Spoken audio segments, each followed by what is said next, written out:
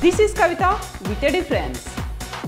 నమస్తే this is Kavitha welcome to my channel ఈరోజు మనతో పాటుగా ఉన్నారు ఒక స్పెషల్ గెస్ట్ తను film critic activist and actor Kathi Mahesh garu. Mahesh garu నమస్కారం అండి. హాయ్ సో మీరు మల్టీ టాస్కింగ్ అనేది ఈ మధ్య కాలంలో చాలా చేస్తున్నట్టు కనిపిస్తోంది.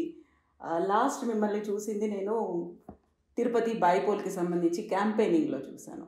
సో ఎందుకు మిమ్మల్ని ఓన్లీ వైఎస్ఆర్సీపీ అట్రాక్ట్ చేసిందా అక్కడికి? లేకపోతే is there any other factor అంటే వైఎస్ఆర్సీపీ పార్టీ నన్నేం పిలవలేదు.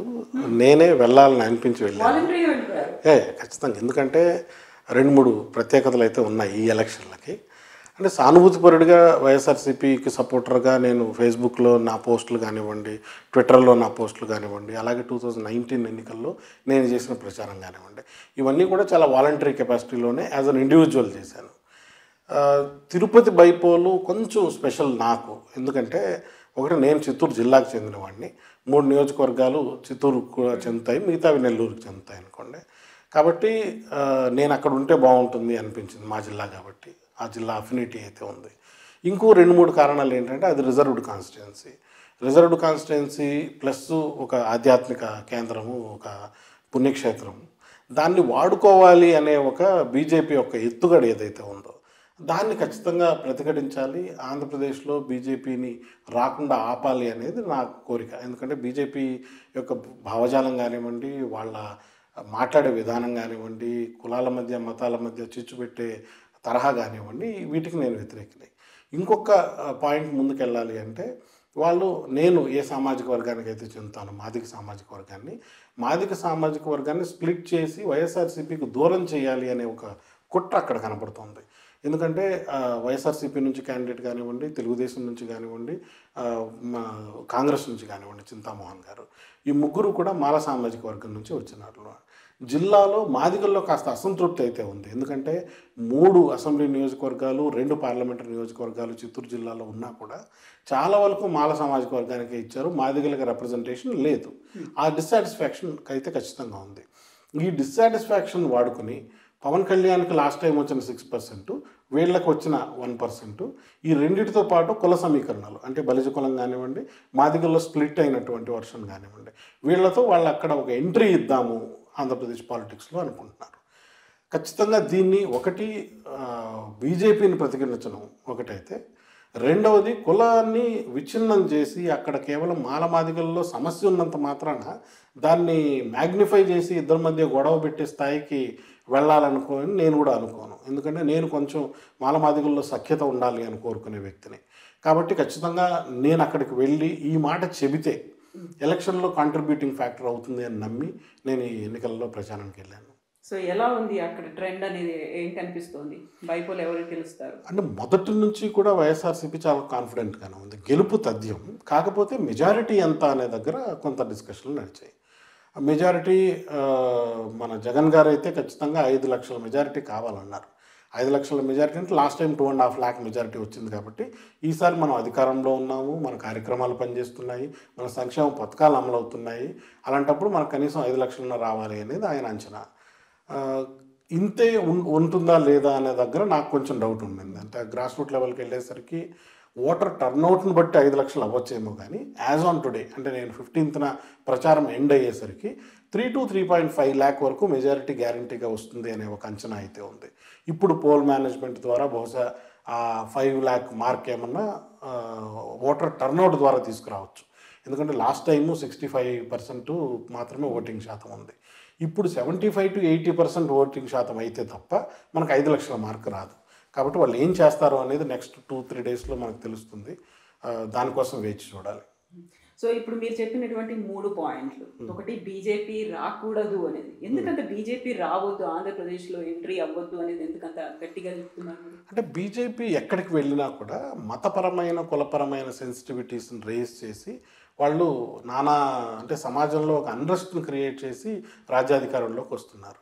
ఆంధ్రప్రదేశ్లో మీరు చారిత్రాత్మకంగా తీసుకున్నా కూడా బాబ్రీ మసీద్ గొడవలప్పుడు కూడా పెద్ద మత కల్లోలాలు జరిగిన దాఖలాలు ఉండవు. అంటే అక్కడ ముస్లింలు హిందువులకు మధ్య అంత పెద్ద ఘర్షణ ఏమీ ఉండదు. ఎందుకంటే చాలా వరకు ముస్లింలు హిందువులు కలిసే ఉంటారు. అంటే ఒకరికొకరు సహాయాలు చేసుకుంటూనే ఉంటారు. సామాజికంగా పెద్ద తేడా ఏమి ఉండదు. ముస్లిమ్స్ కూడా అక్కడ బ్రహ్మాండమైన తెలుగు మాట్లాడతారు. వాళ్ళకి ఎటువంటి అంటే ఉర్దూ మాట్లాడడం తెలుగు మాట్లాడడం ఇలా ఏం ఉండదు. నిజానికి చాలా మంది తెలుగు కవులు రచయితలు ముస్లిమ్స్ ఉన్నారు. కాబట్టి అంత బిట్టర్ రైబలరీ ఏమీ లేదు. మతపరంగా పెద్ద ఛాలెంజ్ కూడా ఏమీ లేదు. రెండోది వాళ్ళు ఏం చేస్తున్నారంటే క్రైస్తవాన్ని దానికి జోడించి క్రైస్తవులకు హిందువులకి మధ్య ఉన్నటువంటి గొడవగా దాన్ని చిత్రీకరిస్తున్నారు. రీసెంట్గా వాళ్ళు చెప్పింది ఏంటంటే ఇక్కడైతే మనం ఒక సర్జికల్ స్ట్రైక్తో సరిపోతుంది. ఆంధ్రప్రదేశ్లో రెండు సర్జికల్ స్ట్రైక్ చేస్తాము. ముస్లింల మీద క్రైస్తవుల మీద లాంటి ఒక విచ్ఛిన్నకరమైనటువంటి సంభాషణ ఏదైతే బీజేపీ రేజ్ చేస్తుందో అది యాజ్ అ సొసైటీ చాలా ప్రమాదకరమని నేను అనుకుంటున్నాను. అలాగే ఇందాక నేను మాట్లాడిన కుల సమీకరణాలు. అంటే కుల సమీకరణ రాజకీయాలతో నాకు సమస్య లేదు. ఏ కులాన్ని కలుపుకెళ్తామనే రాజకీయాలతో నాకు సమస్య లేదు. కులాలను విచ్ఛిన్నం చేయాలనుకుంటున్నారు చూడండి. మాలమాదిగల మధ్య గొడవ పెట్టి ఆ గొడవను మా పొలిటికల్ గెయిన్ కోసం వాడుకుంటాం అనేది అది మంచిది కాదన్నా. కలుపుకెళ్ళండి ఎవరన్నా. మీతో పాటు రావాలి అనుకున్న వాళ్ళు కాస్త డిస్సాటిస్ఫైడ్గా ఉన్న వాళ్ళని మీరు కలుపుకెళ్ళడంలో ప్రాబ్లం లేదు కానీ ఈ గొడవ పెట్టే రాజకీయాలు చేయకూడదు అనేది. అందుకనే బీజేపీ యొక్క మోడల్ ఏదైతే ఉందో రీసెంట్గా మొత్తం గుళ్ళలో ఏదో ధ్వంసం జరిగిపోతుంది.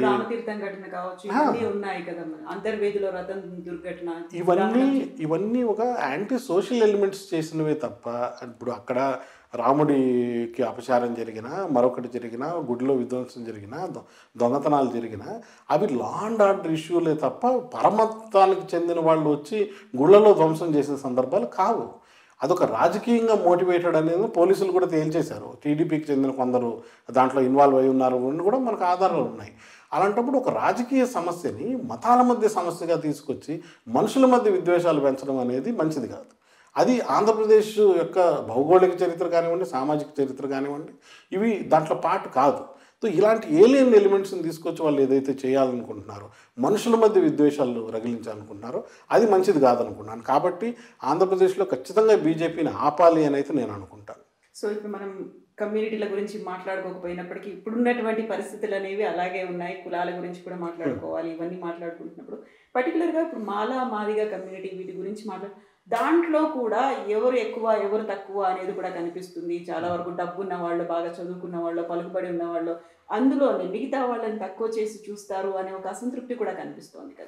ఖచ్చితంగా అండి. ఏమవుతుందంటే హిస్టారికలీ మన మనువాదం మన నర్నరాల్లో జీర్ణించుకుపోయింది. ఒక్కసారి రె- రెండు కులాలు ఉన్నాయి అంటే వీళ్ళలో ఎవరు ఎక్కువ ఎవరు తక్కువ అని చూసుకునే సందర్భం ఉంది.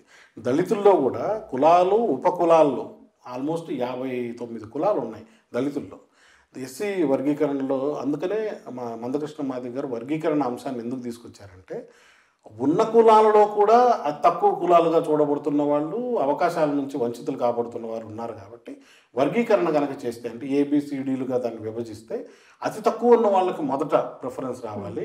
ఇంకొంచెం తక్కువగా ఉన్న వాళ్ళకి నెక్స్ట్ ప్రిఫరెన్స్ రావాలి అనేది ఒక ఒక ఒక లాజికల్గా దాన్ని ముందుకు తీసుకెళ్ళాలి అనుకున్నాను. ఏ వర్గం అయితే అవకాశాలు పొందుతూ ఉందో ఆ వర్గం ఎప్పుడు దీన్ని రెసిస్ట్ చేస్తుంది. ఇప్పుడు రిజర్వేషన్లని అధికార కులాలు ఎలా కాదనుకుంటాయో వితిన్ ఎస్సీస్లో కూడా ఎవరైతే లబ్ధి పొందుతున్నారో వాళ్ళు మిగతా వాళ్ళకి లబ్ధిలో షేర్ చేసుకోవాలి అంటే కొంత పెయిన్ ఉంటుంది. అందులో ఎటువంటి సందేహం లేదు. ప్లస్ ఆర్థికంగా ఒకసారి వెసులుబాటు వచ్చిన తర్వాత దాన్ని కంటిన్యూస్గా ఎంజాయ్ చేయాలనే స్వార్థము మనిషిలో ఉంటుంది. అది కూడా ఇలాగే ఉంది. కానీ నేనేమంటానంటే ఇది విద్వేషాన్ని రెచ్చగొట్టేదిగా కాకుండా లాజికల్గా మనం మాట్లాడి ఒప్పించగలుగుతామా? మీరు ఇంతవరకు అనుభవించారు. మాకు కొంత రావాలి. సో దాన్ని మనం సానుకూలంగా మన ఇద్దరం చర్చించుకోవడమో లేదు ఒక లీగల్ ఫ్రేమ్వర్క్ ద్వారా దాన్ని పొందడమో చేయాలి తప్ప ఊరి ఊరుమ్మడి బాహాబాహీలు చేసుకుంటే వచ్చేది ఏమి కాదు కదా. ఏమి కొడాయి దగ్గర గొడవలు కాదు కదా. ఇది విధానపరమైనటువంటి అంశం. ఇప్పుడు ఆల్రెడీ సుప్రీంకోర్టు రాష్ట్ర గురించి రిజర్వేషన్ల గురించి మాట్లాడిన తర్వాత సెంట్రల్ గవర్నమెంట్ మొత్తం ఉన్నటువంటి పబ్లిక్ సెక్టర్ అంతా అమ్మేసి ప్రైవేట్ పరం చేస్తున్న టైంలో అసలు రిజర్వేషన్లు ఉంటాయో లేవో అనుకున్న టైంలో ఇంకా మనం వాటిల్లో లాభాల నష్టాల గురించి అంశాల గురించి వాటిల్లో మనం పంపకాల గురించి మాట్లాడుతూ కొట్టుకోవడం వల్ల లాభం లేదు. మనందరం సమిష్టిగా పోరాడడం వలన వాటిని నిలుపుకోగలుగుతాము అనే ఒక పర్స్పెక్టివ్ నుంచి నేను వస్తాను. అందుకనే మాలమాదిగల మధ్య విద్వేషాలు కాదు సామరస్యమైన పరిష్కారం కావాలి. నిజంగా అది ఒక ఒక లాజికల్ డిమాండ్ రేషనల్ డిమాండ్ కాబట్టి దాన్ని ఒప్పుకొని మనం ముందుకెళ్దాము అనే పర్స్పెక్టివ్లో నేను మాట్లాడతాను అంతే తప్ప మాళ్ళకి అగెనిస్ట్గా మాదిగల్ని వాడుకోవాలి రాజకీయంగా అనే చంద్రబాబు నాయుడు పాలసీ ఏదైతే ఉందో దానికి నేను వ్యతిరేకం. ఇక్కడ జగన్ గారు వచ్చిన తర్వాత ఆయన అదే భాష నేను నేను నమ్మే భాష మాట్లాడుతున్నారు. ఆయన ఏమంటున్నాడంటే తరాలుగా అన్యాయం జరిగిన మాట వాస్తవమే. సో దాన్ని ఎలా డివైడ్ చేసుకుందాం అనేది చూద్దాం. రిజర్వేషన్లని డివైడ్ చేయడం ఇప్పుడు నా చేతుల్లో లేదు కాబట్టి ఆర్థికపరమైనటువంటి వర్గీకరణ చేద్దాం మనం. మాలా కార్పొరేషను మాది కార్పొరేషను రెల్లి మరియు ఇతర కులాల కార్పొరేషన్ పెట్టి దాని ద్వారా ఆర్థిక వర్గీకరణ చేద్దాం మొదట. దాని మన చేతుల్లో ఉంది. ఎస్సీ సప్లాన్ నుంచి ఏవైతే డబ్బులు వస్తాయో ఆ డబ్బుల్ని కులాల ప్రాతిపదికన అంటే దామాషా పద్ధతిలో జనాభా ప్రాతిపదికన డివైడ్ చేద్దాము అనే ఒక చాలా సానుకూలమైనటువంటి ఒక నిర్ణయం తీసుకున్నారు. ఖచ్చితంగా ఆ నిర్ణయం మిగతా వాటికి కూడా రంగాలకి అప్లై చేసే అవకాశం త్వరలో ఉంటుంది. ఆ అవకాశాన్ని మనం ముందుకు తీసుకెళ్ళకుండా సామరస్యంగా వైఎస్ఆర్సీపీతో మనం మాట్లాడకుండా దానికి అగెనిస్ట్గా ఇంతవరకు వంచితులం అయ్యాం అందులో సందేహం లేదు. ఆ ఆక్రోశం ఉంటుంది అందులోనూ సందేహం లేదు. ఆక్రోశంతో మనం కేవలం పోరాడే అవకాశాలను పోగొట్టుకుందామా? లేదు లాబీ చేసే అవకాశాలను మరింతగా పెంపొందించుకుందామా? అనేది నేను అనుకున్నది. రీసెంట్గా తిరుపతి సభల్లో కూడా నేను చాలా క్లియర్ కట్గా పార్టీ వాళ్ళకి చెప్పాను. మాకు అన్యాయం జరిగింది. అయినా సరే భవిష్యత్తులో మీరు న్యాయం చేస్తారనే నమ్మకంతో ఇప్పుడు ఓటేస్తాం. ఇది నేను మాట్లాడాలనుకుంటున్నటువంటి భాష. అంటే అధికారంలో ఉన్న ప్రతి పార్టీకి వ్యతిరేకంగా వెళ్ళడం వలన జాతికి అన్యాయం జరిగిపోతుంది. ఆ జాతిని కాపాడుకుంటూనే జాతి ప్రయోజనాలను కూడా కాపాడుకోవాలి అనే ఒక ఒక బృహత్తరమైన ప్లాన్ అది. నేను ఎంతవరకు దాన్ని చేయగలను అనేది నా లిమిటేషన్స్ ఉంటాయి. కానీ ప్రయత్నం అయితే మొదలుపెట్టాను. ఇప్పుడు మీరు తిరుపతికి వెళ్ళి ప్రచారం చేయడానికి ఒక మూడో రీజన్ పవన్ కళ్యాణ్ సో అక్కడ ఉన్నటువంటి ఓటు బ్యాంక్ అనేది ఏదైతే ఉందో ఆ పవన్ కళ్యాణ్ ఉన్నటువంటి వచ్చినటువంటి ఓటు షేర్లని బీజేపీ ప్లేస్ చేసుకోవాలి అని అనుకుంటోందని. సో ఎలా ఉంది అక్కడ బీజేపీ పవన్ కళ్యాణ్ కలిసి క్యాంపెయిన్ చేయడం అనేది? అంటే ఖచ్చితంగా పవన్ కళ్యాణ్కి లాయల్ ఫ్యాన్స్తో పాటు ఓటర్స్ ఉన్నారు. ప్లస్ కులానికి సంబంధించినటువంటి సమీకరణ అక్కడ చాలా స్ట్రాంగ్గా ఉంది. ఎస్పెషల్లీ మీరు గూడూరు కాళహస్తి తిరుపతి తీసుకుంటే ఖచ్చితంగా బలిజల శాతం అది బలంగా ఉన్నటువంటి బలిజల శాతం ఉంది. కాకపోతే నేను ఈసారి గమనించింది ఏంటంటే థర్టీ థర్టీ ఫైవ్ ప్లస్ బలిజలు ఎవరైతే ఉన్నారో వాళ్ళకి ఆల్రెడీ చిరంజీవితో ఒక బ్యాడ్ అనుభవం ఉంది. ఒక బ్యాడ్ ఎక్స్పీరియన్స్ అయింది. అంటే ఆయన నమ్మి గెలిపించారు. నిజానికి ఆయన మొగల్తూరు కన్నా తిరుపతిలో గెలవడం గెలిచారు ఆయన. ఆయన నమ్మి గెలిపించారు. కానీ నమ్మి గెలిపించిన తర్వాత బలిజలకి ఏం బలిజలకు కాపులకు ఏమీ చేయకుండా ఆయన కాంగ్రెస్లో విలీనం చేశాడు అని ఒక అసంతృప్తి ఉంది కాబట్టి వాళ్ళు పవన్ కళ్యాణ్కి ఓటేద్దామని డిసైసివ్గా అనుకోవడం లేదు. వాళ్ళు పార్టీల పరంగా డివైడ్ అయిపోయారు. అంటే వాళ్ళు అటు తెలుగుదేశం కొంత ఇటు వైఎస్ఆర్సీపీ వైపు కొంత ఉన్నారు. అదిగాక అక్కడ వ్యాపార వర్గం బలిజలు చాలామంది ఉన్నారు. ఆ వ్యాపారం కానివ్వండి రియల్ ఎస్టేట్ కానివ్వండి ఇతర వ్యాపారాల్లో ఉన్న వాళ్ళు వాళ్ళకి వాళ్ళ ఇంట్రెస్ట్లు ముఖ్యం. కాబట్టి వాళ్ళు వాళ్ళు కూడా అటు తెలుగుదేశం వైసీపీ మధ్య డివైడ్ అయి ఉన్నారు. యువత ఎవరైతే ఐ థింక్ లాస్ట్ ఎన్నికల్లో కొంత ఓటు వచ్చిన వాళ్ళు లేదు అంతకు ముందు వచ్చిన వాళ్ళు వాళ్ళు కొంత పవన్ కళ్యాణ్ మీద ఆశలతో ఉన్నారు. కానీ ఇక్కడ నాకు వచ్చిన పెద్ద డౌట్ ఏంటంటే కొంతమందితో మాట్లాడుతుంటే వాళ్ళలో ఒక అసంతృప్తి ఉంది. జనసేన క్యాండిడేట్ని ఎవరినన్నా పెట్టుంటే అతనికి ఓటేయడం వేరు జనసేన సపోర్ట్ చేసిన బీజేపీ క్యాండిడేట్కి ఓటేయడం అంటే ఇది ఒక పెద్ద లాంగ్ లూప్ ఇది అంతే సిన్సియర్గా అంతే ఎమోషనల్గా చేయగలుగుతామా అనేది ఒకటి. చాలా వరకు లాస్ట్ టూ మంత్స్ వరకు కూడాను మనమే మనదే సీటు అని జనసేన చెప్పడం. లోకల్గా వాళ్ళు ఏమనుకున్నారంటే ఓకే మన జనసేన నుంచి డైరెక్ట్గా ఎవరో ఒకరు ఒక దళిత నాయకుడు నిలబెడతారు అని ఒక ఆశ ఉంది. ఈ ఆశ ఒక్కసారిగా నిరాశగా మారిపోయినటువంటి ఒక డీమారలైజ్డ్ సెక్షన్ కూడా ఒకటి ఉంది. కాబట్టి నా డౌట్ ప్రకారం లాస్ట్ టైం వచ్చినటువంటి సెవెన్ పర్సెంట్ సిక్స్ పర్సెంట్ కూడా ఈసారి అంత రాకపోవచ్చేమో అని నా సందేహం. సో ఇప్పుడు మనం పవన్ కళ్యాణ్ గురించి మాట్లాడుకున్నప్పుడు ఆయనకి ఓట్లు లేవు సీట్లు లేవు అనుకున్నప్పటికీ కూడా వైఎస్ఆర్సీపీ కంటిన్యూస్గా ఆయన్నే విమర్శిస్తోంది. సో దాన్ని ఎలా చూస్తున్నారు? ఆయనకు ఓట్లు సీట్లు లేనప్పుడు ఆయన విమర్శించాల్సినటువంటి అవసరం ఎలా ఉంది? అండ్ మీరు పవన్ కళ్యాణ్ ఎలా చూస్తున్నారు? ఒక హీరో అనుకుంటున్నారా? లేకపోతే జీరో అనుకుంటున్నారా? ఏమనుకుంటున్నారు అంటే పవన్ కళ్యాణ్ అనే అతను ప్రజాకర్షణ కలిగినటువంటి వ్యక్తి. ఒక హీరో అవ్వడం వల్ల వచ్చినటువంటి ప్రజాకర్షణ. ప్లస్ ఒక ఆస్పిరేషనల్ కులానికి అతను ఒక అధిపతి. వాళ్ళు ఒక రాజకీయ యాస్పిరేషన్గా అతను చూస్తున్నారు ఇంకా. కాబట్టి అతని ప్రాముఖ్యతను నేను తగ్గించడం లేదు కానీ అతని విధానాన్ని వైఖరిని ప్రశ్నిస్తున్నాను అంతే. అంటే ఇంతవరకు ఆల్మోస్ట్ జెండా ఉన్న ప్రతి పార్టీతోనూ జత కట్టేశాడు ఆయన.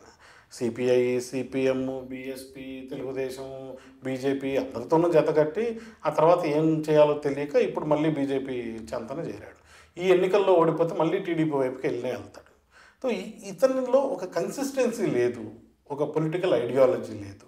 అంటే ఒకేసారి మీరు సిపిఐ సిపిఎంతోనూ బీజేపీతోనూ జరగట్లేదు కదా. It's they are in two extremes కాబట్టి ఇతని ఐడియాలజీ ఏంటి?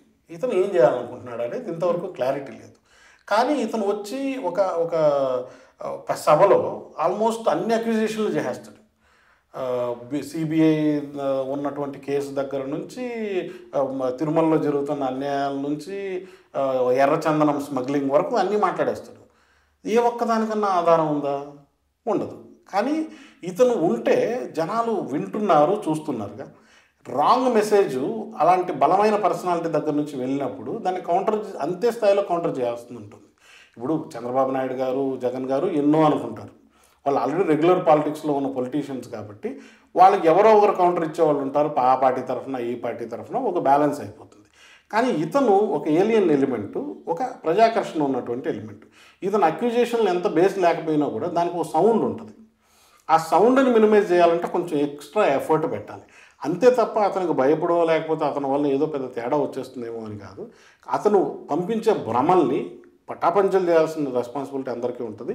Because his reach is much larger ఇప్పుడు ఆయనకు ఒక సౌండ్ ఉంటుంది. సౌండ్కి రియాక్షన్ అనేది ఎలా ఉందంటారు అంటే అతను ఒక్కొక్కసారి పప్పులో కాలేస్తూ ఉంటాడు. అంటే అతను చెప్పింది ఒక మాట తర్వాత రెండో మాటకు దానికి కాంట్రడిక్షన్లు ఉంటూ ఉంటాయి. మూడు చాలా గాలి మాటలు మాట్లాడుతుంటాడు ఆయన. అంటే గాలి పోగేసి మాట్లాడేసి ఆ రోజుకు అయిపోయింది ఆ రోజుకి ఎక్సైట్మెంట్ చేశాను అనే ఉంటుంది.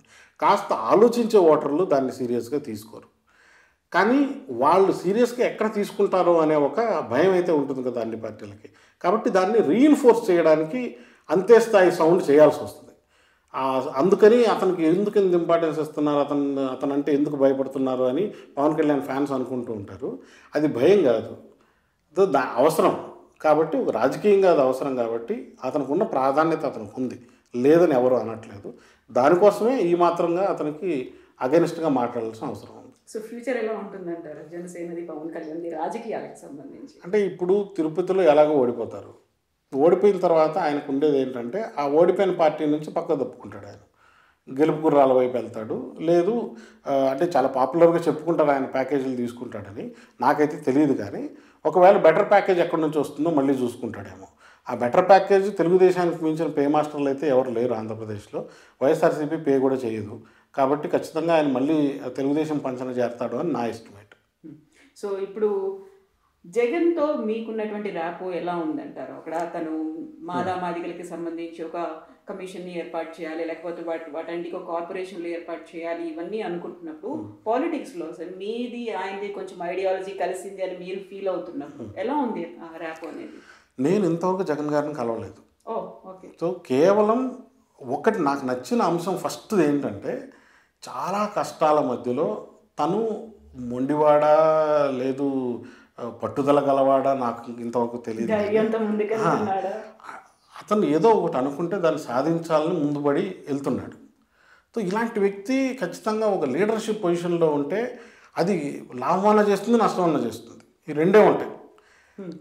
ఆయన సంక్షేమ పథకాలు ఏవైతే అనౌన్స్ చేశాడో నేను అనుకున్నాను ఏంటంటే రాజకీయాల్లో ఉన్న వాళ్ళు ప్రామిసులు చాలా చేస్తారు వచ్చిన తర్వాత ఎంత చేస్తారు అని కొంచెం డౌట్ ఉండేది నాకు. మామూలు రాజకీయ నాయకులు ఏం చేస్తారంటే మొదటి మూడు సంవత్సరాలు వాళ్ళ లాభం మీద వాళ్ళు చూసుకుంటూ వెళ్ళి లాస్ట్ రెండు సంవత్సరాల్లో సంక్షేమ పథకాలు పెట్టి వాటిని చూపించి ఎన్నికల్లోకి వెళ్ళి ఓట్ల ఇతను రావడం రావడం సంక్షేమ పథకాలంటూ మొదలుపెట్టాడు. మేము ఏదైతే మేనిఫెస్టో ఇచ్చామో అదే నా అడ్మినిస్ట్రేటివ్ అజెండా అంటే పొలిటికల్ అజెండాకి అడ్మినిస్ట్రేటివ్ అజెండాకి తేడా ఉంటుంది ఎప్పుడు. తను చాలా క్లియర్గా చెప్పాడు నాకు పొలిటికల్ అజెండా ఏదో అడ్మినిస్ట్రేటివ్ అజెండా అదే దీన్ని ఇంప్లిమెంట్ చేయడానికి మంత్రులందరూ పనిచేయాలి అన్నాడు. I was actually shock okay ఇతను మళ్ళీ అదే అదే పట్టుదల మొండితనము. సో దాంతో ముందుకెళ్తున్నాడు అంటే నాకు ఎందుకో నచ్చింది. ఓకే. కానీ ఎంత సక్సెస్ అవుతాడు? ఏ విధంగా తీసుకెళ్తాడు? ఇవన్నీ ప్రశ్నలు ఉన్నాయి. ఎందుకంటే ఆర్థికంగా భారంలో ఉన్నటువంటి ఆంధ్రప్రదేశ్ ఆల్రెడీ అప్పుల్లో ఉన్నటువంటి ఆంధ్రప్రదేశ్ ఎలా వీటన్నిటికీ తట్టుకుంటుంది? ఇవన్నీ కూడా ఇంకా ప్రశ్నార్థకాలే. కానీ అన్నది అనుకున్నది చేస్తున్నాడు. ప్లస్ ఒక మోడల్ ఆఫ్ డెవలప్మెంట్ నేను as as a development student చూస్తాను. ఒకటి ఇన్ఫ్రాస్ట్రక్చర్ డెవలప్మెంట్ అండ్ డెవలప్మెంట్ అందామా? హ్యూమన్ డెవలప్మెంట్ అండ్ డెవలప్మెంట్ అందామా అనేది ఒక సో కన్స్టెంట్గా వీటి రెండింటికి మధ్య చర్చ ఉంటుంది. నాకు చంద్రబాబు నాయుడు గారు ఎప్పుడు ఏం కనపడతారంటే ఆయన ఇన్ఫ్రాస్ట్రక్చర్ మీద డ్రైవ్ చేస్తూ ఎకనామిక్ డ్రైవ్స్ వలన జనాల లైఫ్ మారుతుంది అని ఆయన అనుకుంటున్నాడు. ఈయన ఏమనుకుంటున్నాడు? జనాల ఆర్థిక స్థితిగతుల్ని మారిస్తే దాని ద్వారా ఎకానమీ రన్ అయ్యి డిమాండ్ జనరేట్ అయ్యి ఎకానమీ బెటర్ పొజిషన్లోకి వెళ్తుందని ఈయన అనుకుంటున్నాడు. ఈ రెండు మోడల్స్లో I prefer human development model పర్సనల్గా కాబట్టి జనాలకు ఇప్పుడు కోవిడ్ సినారియోలో ఎవరికి అంటే లిటరల్గా మనందరం కూడా ఎక్కడి నుంచి డబ్బులు వస్తాయి ఉన్న సేవింగ్స్ అయిపోతే ఈ నెల ఓకే నెక్స్ట్ నెల ఏంటి అని కంగారులో ఉన్నప్పుడు అప్పటికీ ప్రభుత్వం అందరికీ డబ్బులు పంచుతూనే ఉంది so it work for that model అంటాను నేను. అంటే ఎటువంటి హ్యూమన్ క్యాజువాలిటీ లేకుండా వాళ్ళని వాళ్ళ భయం కంపితుల్ని చేయకుండా నేను ఉన్నాను అనే ఒక భరోసా ప్రభుత్వం ఇవ్వగలగడం అనేది నాకు చాలా నచ్చినటువంటి అంశం. అందుకని జగన్ ప్రభుత్వం పట్ల నేను సానుకూలంగా ఉన్నాను. కొన్ని సమస్యలు ఉన్నాయి దాంట్లో కూడా. ఇంప్లిమెంటేషన్లో సమస్యలు ఉన్నాయి. కొన్ని నిర్ణయాలు తీసుకొని మళ్ళీ బ్యాక్ ట్రాక్ చేయడంలో సమస్యలు ఉన్నాయి. సెంట్రల్ గవర్నమెంట్ కొన్ని పాలసీల్లో సపోర్ట్ చేసి సిఏఏ క్యాబ్ లాంటి వాటిని మళ్ళీ నాలుగు ఖర్చుకోవడం లాంటి వాటిల్లో సమస్యలు ఉన్నాయి. సమస్యలు లేనని అనటం లేదు. కాకపోతే ఓవరాల్ ఆంధ్రప్రదేశ్ ప్రజల యొక్క క్షేమం కానివ్వండి వాళ్ళ సంతోషం ఒక హ్యాపీనెస్ ఇండెక్స్ ఏదైతే ఉందో దాంట్లో నా ఐఎమ్ వెరీ హ్యాపీ కొంత అర్బన్ డెవలప్మెంట్ డిస్సాటిస్ఫాక్షన్ ఉంది కొంత మిడిల్ క్లాస్ డిస్సాటిస్ఫాక్షన్ ఉంది. వీటన్నిటిని కూడా అడ్రస్ చేయాలి అని కోరుకుంటాను. కాకపోతే జరుగుతున్న వాటి పట్ల ఒక సానుకూలమైనటువంటి దృక్కోణం కలిగి ఉన్నాను నేను. సో ఇప్పటిదాకా ఏదవుతుందో అది satisfy అయ్యాలి. It is satisfy and it can be better and it can be more inclusive అంటున్నాను నేను. ఇప్పుడు ఏమవుతుందంటే రూరల్ రూరల్ ఓటర్స్ ఎవరెవరైతే ఉన్నారో ఎస్పెషలీ కులాలకు అతీతంగా రూరల్ వాళ్ళు ఎవరైతే ఉన్నారో గ్రామీణ పరంగా చాలా ఇంప్లిమెంటేషన్లు జరుగుతున్నాయి. కానీ అర్బన్ అర్బన్ మిడిల్ క్లాస్కి ఏమీ జరగట్లేదు అనేది ఒక అంశం ఉంది. వీటిని కూడా మనం ఏమైనా చేయగలమా? ఎస్పెషల్లీ సెంట్రల్ గవర్నమెంట్ ఇప్పుడు ఎంఎస్ఎంఈలు అంటున్నాయి. వీటన్నిటి నేపథ్యంలో మనం ఇంకొంత infrastructure development through people not ఏదో పైనుంచి వేసేసాము ఫారిన్ కంపెనీ వచ్చి కంపెనీ పెట్టేసింది లాంటి భ్రమలు కాకుండా నిజంగా లోకల్ ఎంటర్ప్రెన్యూర్షిప్ డెవలప్ చేయగలుగుతామా? మిడిల్ క్లాస్కి మనం ఒక ఇన్సెంటివ్ ఇచ్చి వాళ్ళని వ్యాపార రంగం వైపు తీసుకెళ్ళగలుగుతామా? ఇవి నేను అనుకునేటువంటి కొన్ని మోడల్స్. అవి ప్లస్ నాకు చాలా బాగా నచ్చిన అంశాలు ఈ మధ్యకాలంలో ఏంటంటే ఎడ్యుకేషన్. ఎడ్యుకేషన్ పరంగా జరుగుతున్నటువంటి రిఫార్మ్స్. అమ్మఒడి కానివ్వండి ప్లస్ నాడు నేడు అంటూ స్కూల్స్ని అభివృద్ధి చేస్తున్నటువంటి విధానం కానివ్వండి ఇంగ్లీష్ మీడియంని తీసుకురావడం కానివ్వండి ఇవన్నీ కూడా ఒక త్వరలోనే వాటిని ఒక విప్లవాత్మకమైనటువంటి మార్పులుగా మనం ఒక ఐదారు సంవత్సరాల్లో పరిగణించవచ్చు అనే ఒక హోప్ అయితే ఉంది. కాబట్టి కొన్ని రంగాలలో జరుగుతున్నటువంటి మార్పుల్ని నేను చాలా దగ్గరగా చూస్తున్నాను. I'm happy with what is happening. ఇప్పుడు జగన్ గారి తర్వాత మనం మాట్లాడుకోవాల్సింది షర్మిల గారి గురించి. చాలా క్లియర్గా ఒక మాట చెప్పారు నేను ఛాలెంజ్ చేస్తున్నాను. ఏ నాటికైనా నేను తెలంగాణకి సీఎం అవుతాను. ఆ పట్టుదల మీరు అన్నారే మొండితనం ఒక ధైర్యం ఒక పట్టుదల. షర్మిల గారిలో కూడా కనిపిస్తున్నాయి? ఎలా చూస్తున్నారు? తన పొలిటికల్ ఎంట్రీ కావచ్చు వీటన్నిటిని. అంటే షర్మిల గారికి స్పేస్ ఉందనుకుంటున్నాను నేను. ఇక్కడ ఉందా ఇక్కడ ఉందని ఎందుకంటే ఇప్పుడు తెలంగాణలో ఆల్మోస్ట్ వన్ టర్మ్ అయిపోయింది సెకండ్ టర్మ్ నడుస్తుంది. తెలంగాణ అస్తిత్వవాదం అనేది తెలంగాణను తీసుకొచ్చింది. అదే అస్తిత్వవాదం పేరుతో ఒక ఒక టర్మ్ జరిగింది. ఈ టర్మ్లో జనాలకు అర్థమైంది ఏంటంటే ఉద్యమం వేరు రాజకీయం వేరు. ఉద్యమాల్లో మాట్లాడింది ఏది రాజకీయంలో జరగట్లేదు. కాబట్టి కేసీఆర్ పట్ల కొంత డిస్సాటిస్ఫాక్షన్ ఉంది. అలాగే కొన్ని కులాలు ఈ ప్రభుత్వానికి కొంత దూరం అయిపోయాయి. సో వీటన్నిటికీ ఒక ఒక వ్యాక్యూమ్ అయితే ఉంది. కాంగ్రెస్ పార్టీ సంహం దాన్ని క్యాష్ చేసుకోవడంలో విఫలమైంది. మరి ఇంకెవరున్నారు అనే దగ్గర. ఆల్టర్నేటివ్? అంటే బీజేపీని అనుకున్నారు. కానీ బీజేపీ ఏమవుతుంది అంటే బీజేపీ ఎక్కడ మాట్లాడకూడదో అక్కడ ఆ మాటలు మాట్లాడుతున్నారు. ఇప్పుడు ఇక్కడ there is a history of Ganga Jamuna tehzeeb in Hyderabad or in Telangana ఇక్కడ ముస్లింలకి హిందువులకి పెద్ద గొడవలు ఏమీ లేవు. అంటే ఏదో కొన్ని పాకెట్స్లో జరిగినవి తప్ప. అంటే మీరు ఇప్పుడు పాత బస్తీ కల్లోలాలు చూసినా కూడా అవి పొలిటికలీ మోటివేటెడ్ తప్ప అదేం పెద్ద కమ్యూనిటీల మధ్య గొడవలు కాదు. మనకు రిపోర్ట్స్ కూడా ఉన్నాయి ఇంటెలిజెన్స్ రిపోర్ట్స్. దీన్ని అంటే ప్రతి ఊర్లోనూ ముస్లింలు హిందువులు ఉన్నప్పుడు ప్రతి ఊర్లోనూ గొడవ పెడితే నువ్వు ఎట్లా అయిపోతావు నువ్వు king? So both have to vote just because it's Maina majority minority issues ఇక్కడ కూడా కుదరవు. కానీ వాళ్ళ మోడల్ గుజరాత్ మోడల్ ఆ గుజరాత్ మోడల్ ఇక్కడ ఇంప్లిమెంట్ అవ్వదు. దాన్నే వాళ్ళు మాటి మాటికి చెబుతున్నారు. ఇంకో ఆల్టర్నేటివ్ లేదు కాబట్టి కొందరు బీజేపీ వైపు వెళ్ళిన మాట వాస్తవం. అందులో సందేహం లేదు. అది పొలిటికల్ చాయిస్ అంతే తప్ప ఐడియాలజీ నమ్మి కాదు. ఆర్ఎస్ఎస్ భావజాలమో విహెచ్పి భావజాలమో లేదు బీజేపీ కోర్ భావజాలమో నమ్మి ఎవరు వెళ్ళా. ఇక్కడ లేదు అవకాశం. రాజకీయంగా ఇక్కడ ఉంది అవకాశం.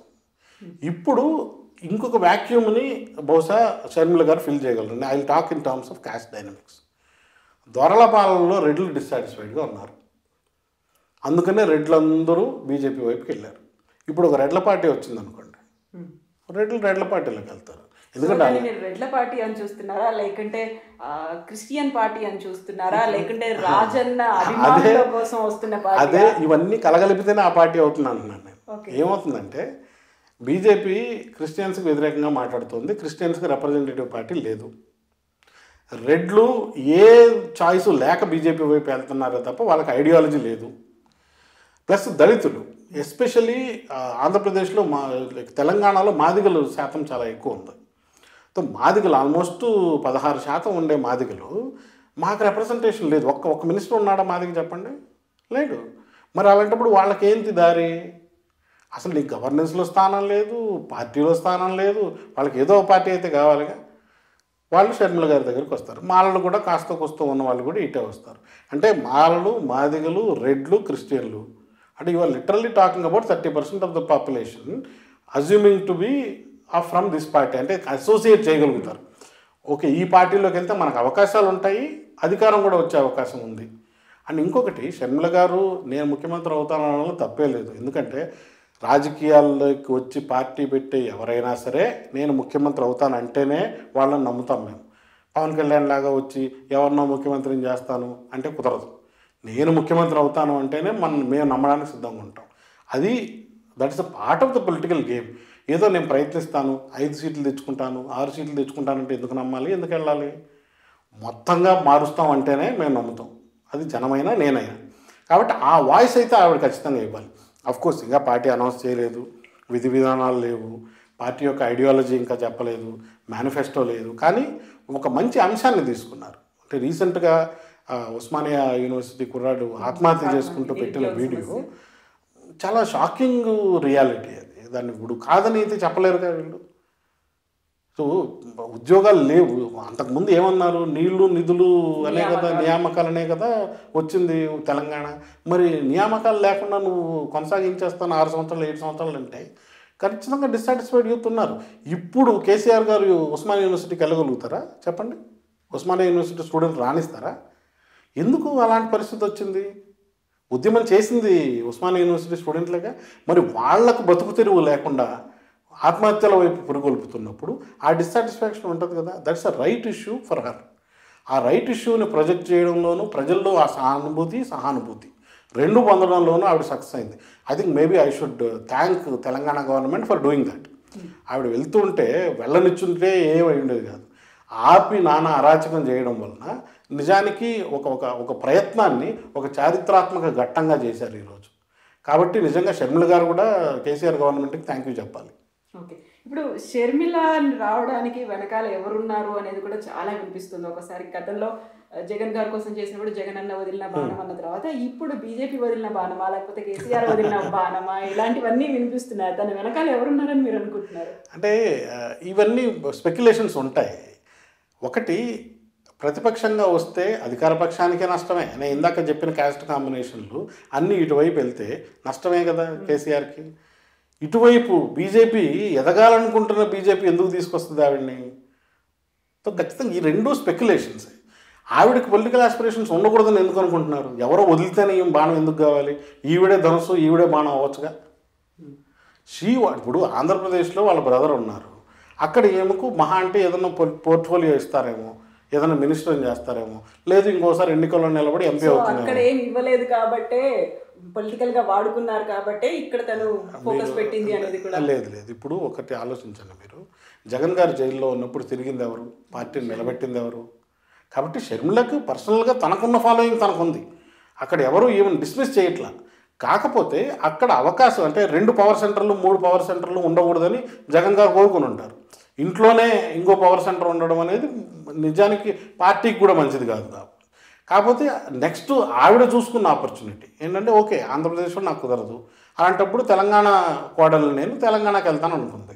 దాన్ని ఎవరు అబ్జెక్ట్ అయితే చేయలేరుగా. వచ్చింది తన సత్తాన్ని నిరూపించుకుంటుంది. మరికొంతమంది జాయిన్ అవ్వడానికి వస్తున్నారు. Almost daily I see at least hundred to hundred and twenty people joining her ఇంకా పార్టీ కూడా పెట్టకుండానే. పార్టీ జెండా తెలియదు పేరు తెలియదు అయినా ఆవిడని కలవడానికి వస్తున్నారు. ఆవిడ పట్ల తమ విధేయతను ప్రకటిస్తున్నారు. మేము మీతో ఉన్నామని చెప్తున్నారు. ఖమ్మం సభ చాలా సక్సెస్ఫుల్గా అయ్యింది. ఇప్పుడు కూడా చాలా నిజానికి ఘన విజయం సాధించింది ఈ నిరాహార దీక్ష అని నేను అనుకుంటున్నాను. కాబట్టి ఫ్యూచర్ అయితే ఉంది. అంటే పొలిటికల్ గ్యాప్ ఉంది. ఆ గ్యాప్ను ఫిల్ చేయగలిగే లీడర్గా ఆమె ఎమర్జ్ అవుతూ ఉంది. లెటస్ సి తను పార్టీ అజెండాతో వచ్చినప్పుడు ఆ అజెండా ఏ మేరకు కేసీఆర్కు ఉన్నటువంటి అజెండాకు వ్యతిరేకంగా ఉంటుంది ప్రజల్ని ఎలా ఆకర్షిస్తుంది తన మెథడాలజీ ఎలా ఉంటుంది పార్టీ నిర్మాణం ఎలా ఏ విధంగా ఉండబోతుంది ఇవన్నీ కూడా కొన్ని మనం వేచి చూడాల్సినవి. But it's a good time for a political gap ఉంది వ్యాక్యూమ్ ఉంది. దాన్ని ఫిల్ చేయడానికి ఏమొచ్చిందని నేను అనుకుంటున్నాను.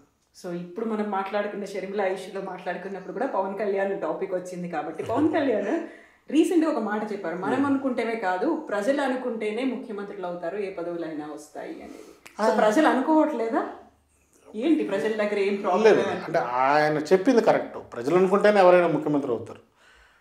ఇప్పుడు లోకేష్ ముఖ్యమంత్రిగా ప్రజలతో యాక్సెప్ట్ చేయించండి. కష్టం. ప్రజలు వద్దనుకుంటున్నారు కాబట్టి మొన్న ఎన్నికల్లో ఓడించారు. అంతకుముందు దొడ్డిదారిని మినిస్టర్ అవ్వాల్సి వచ్చింది. సో ఎంత గొప్ప లీడర్ కొడుకైనా నువ్వంటూ నీ వర్త నిరూపించుకోకపోతే ప్రజలు యాక్సెప్ట్ చేయరు. జగన్ గారు బహుశా అప్పుడే సంతకాలతో చీఫ్ మినిస్టర్ అయింటే ఒక టర్మ్ కూడా ఉండేవాడు కాదేమో. ఇప్పుడు ప్రజాబలంతో వచ్చాడు కాబట్టి ఎన్ని టర్మ్స్ అన్నా ఉండొచ్చు అనే ధైర్యం ఆయనలోనూ ఉంటుంది. ప్రజల్లో కూడా ఓకే నీ పరిపాలన చూస్తున్నాం కదా నువ్వు ఎంత పర్ఫామ్ చేస్తే అంత నేను నిలబెడతావనే ఉద్దేశం ప్రజల్లోనూ ఉంటుంది. ప్రజాస్వామ్యంలో at the end of the day ప్రజలే నిర్ణయిస్తారు. ఈ కొంతమంది అంటే పవన్ కళ్యాణ్ గారు తనే ముఖ్యమంత్రి అవ్వను అనుకుని వస్తే ఎలా నమ్ముతాం? ప్రజలు కూడా ఎలా నమ్మాలి? ఇప్పుడు ఆయన వచ్చి వేరే వాళ్ళకి ఓటేయండి అంటుంటాడు నన్ను గెలిపించండి నేను సీఎం అవుతాను నేను ఇది చేస్తానని చెప్తే ఆయనకు కూడా ఒక అవకాశం ఇస్తారేమో. ఎంతైనా ఆయన సిన్సియర్గా రాజకీయాలు చేయాలనుకుంటే ఇంకో టూ టర్మ్స్లో జగన్ గారికి కూడా అపోజిషన్ వస్తుంది. ఎవరికైనా సరే యాంటీ ఇన్కంబెన్సీ అనేది ఉంటుంది.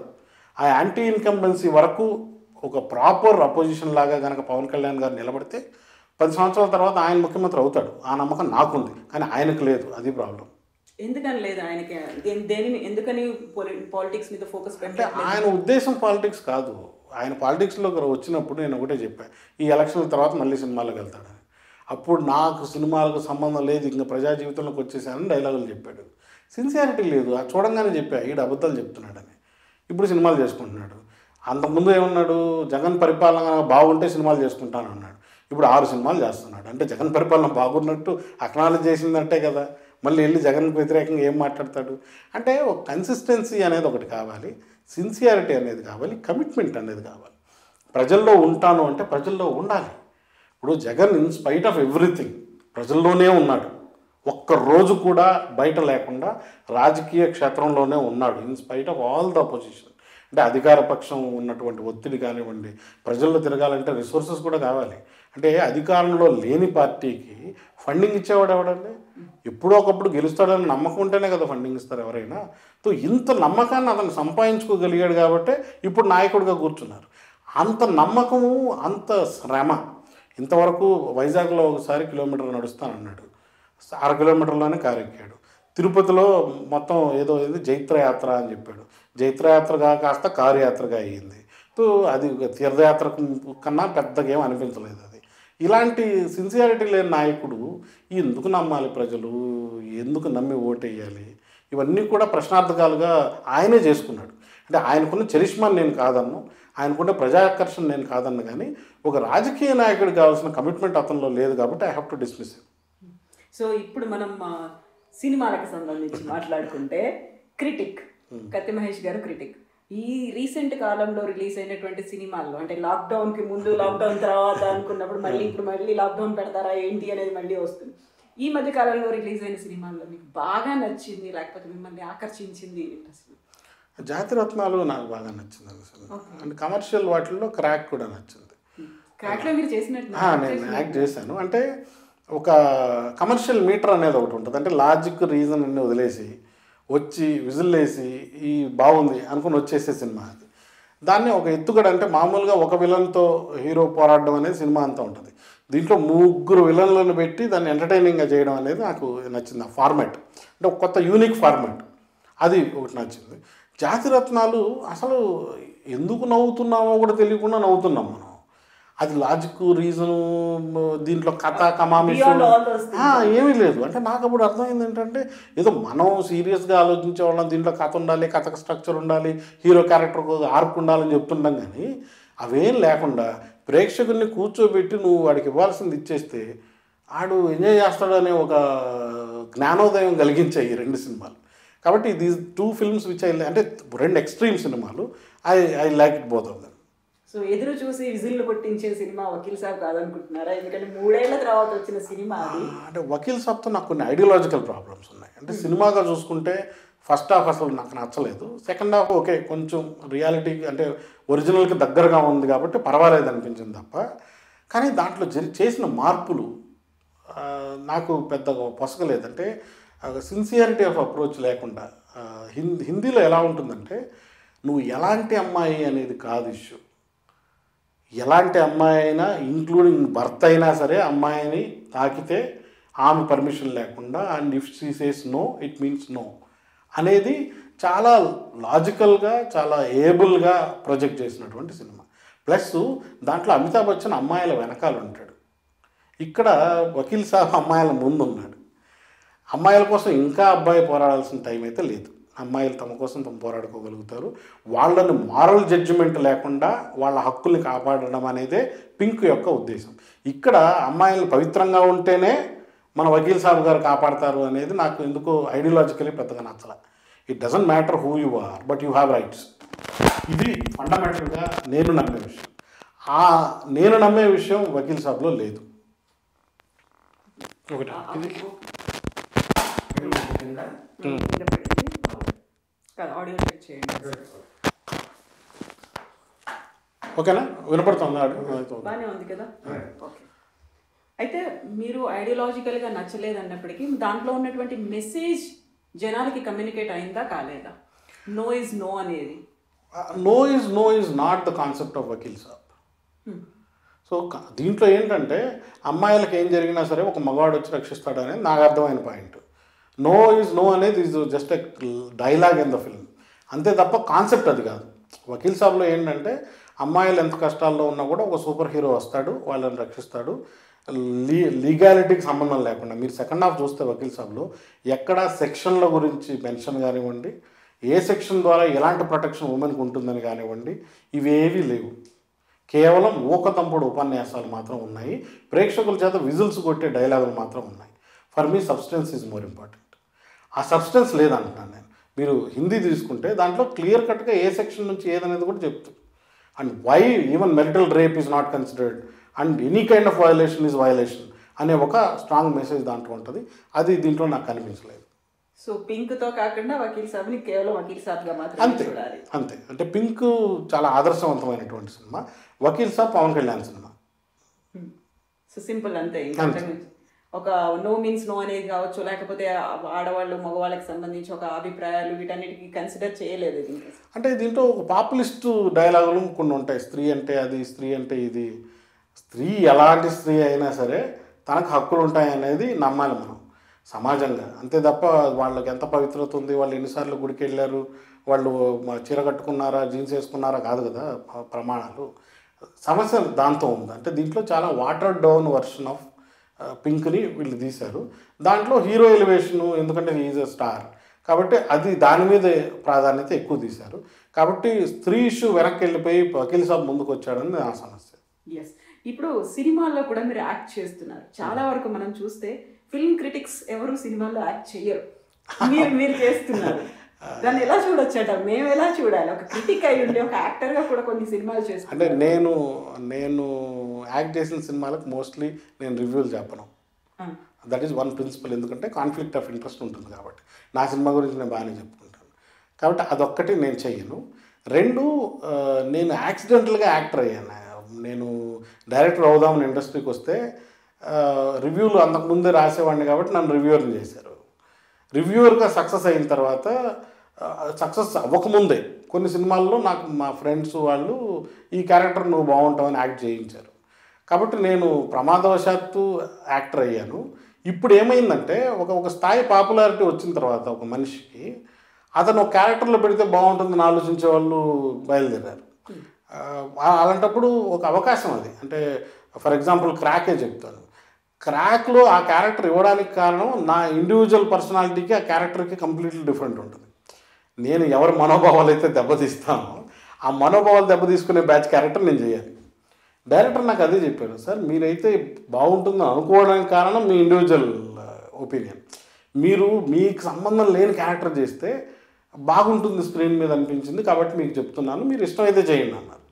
ఇదేదో బాగానే ఉంది. ఇప్పుడు సి యాక్టింగ్ నేను డైరెక్షన్ రైటింగ్ అంటే ఇట్స్ కాంప్లెక్స్ సినారియో యాక్టర్ అయితే చాలా సుఖం ఉంటుందని తర్వాత నేను అర్థం చేసుకున్నా. ఎలాగానే క్యారవాన్ ఇస్తారు మన కాస్ట్యూమ్స్ ఇస్తారు షార్ట్ ఉన్నప్పుడు పిలుస్తారు. మనం ఎలాగూ నేను జర్నలిస్ట్గాను ఉన్నాను ప్లస్ ఒక రై- రైటర్ రైటర్ కాకపోయినా చదివే దాంట్లో ఉన్నాను వీటన్నిటిని చూసుకుంటే నాకు డైలాగులు నేర్చుకోవడం పెద్ద కష్టం కాదు. మహా అంటే రెండు మూడు టేకుల్లో డైలాగులు చెప్పేస్తాను. కాబట్టి వాళ్ళకు పెయిన్ లేదు. యాక్టర్గా కొంత థియేటర్ అనుభవం ఉంది నాకు కాలేజీలో చేసింది యూనివర్సిటీలో చేసింది కాబట్టి I can pull off I'm not a bad actor I can a decent actor కాబట్టి వీటన్నిటిలోనూ సుఖం ఉంది డబ్బు ఉంది. పిలిచి మరీ ఇస్తున్నారు. చాలామంది జీవితాంతం కష్టపడుతుంటారు యాక్టర్ అవ్వడానికి. మరి అలాంటప్పుడు మనకు పిలిచిస్తే ఎందుకు కాదంటాం?